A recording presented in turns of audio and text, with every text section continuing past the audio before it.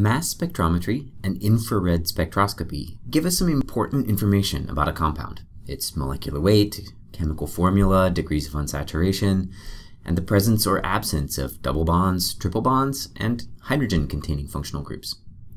But even with all that information, it's usually pretty challenging to deduce a precise chemical structure. Consider these spectra.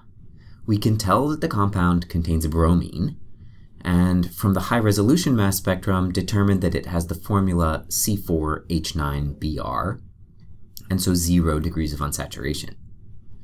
The infrared spectrum isn't very useful. We only see CH bonds. Is it one bromobutane or two bromobutane, T-butyl bromide or isobutyl bromide?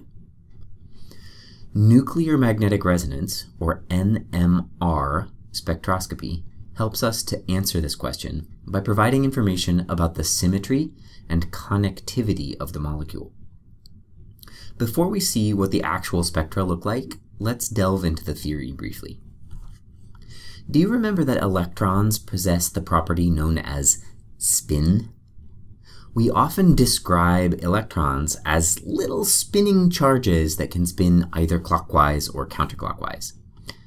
Well, it turns out that protons and neutrons, the components of atomic nuclei, also possess this property.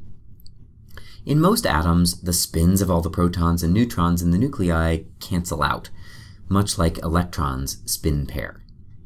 However, some nuclei, especially those with odd numbers of protons and neutrons, have net spin that isn't zero. These nuclei are special, and they're called NMR active nuclei because they can absorb particular frequencies of radiation that give us information about where those nuclei are in relation to one another in a molecule. Imagine a tiny, tiny spinning nucleus, a positively charged mass. Under normal circumstances, that nucleus probably doesn't care whether it's spinning clockwise or counterclockwise. Those two states have identical energies we chemists use the word degenerate to describe things that have the same energy. So, under most circumstances, the possible spin states of the nucleus are degenerate. But those two little spinning charges are creating magnetic fields of their own. And if we apply a magnetic field, which has directionality, then the nuclei whose spins align with the applied magnetic field are lower in energy than those whose spins align against the magnetic field that we've applied. This creates a difference in energy between two possible states for the nucleus. And when we have two states with an energy difference, then photons that match that energy, di energy difference can be absorbed. Essentially, the absorption of appropriate photon energies causes nuclei to switch their spin state. It so happens that this energy difference is really, really quite tiny, so radio frequency photons are the ones typically involved.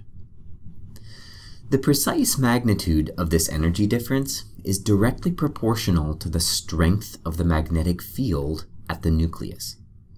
Stronger magnetic field, bigger difference, absorbs higher frequency photons. A weaker magnetic field means a, a smaller difference, means absorbs lower frequency photons. So if we put a sample of a molecule into a magnetic field which has a constant strength, you'd probably expect that all of its spinning nuclei would absorb the same energy. This wouldn't be very useful for determining molecular structure.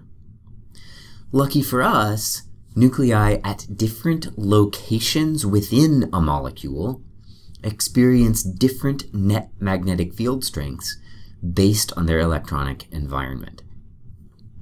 To understand this, recall that electrons are themselves little charged particles, and when charged particles are placed in a magnetic field, they begin to oscillate or move in tiny, tiny little circles within the orbitals they reside in. And charges that are oscillating generate their own magnetic fields. These induced magnetic fields act as little modifiers to the big magnetic field that we've applied.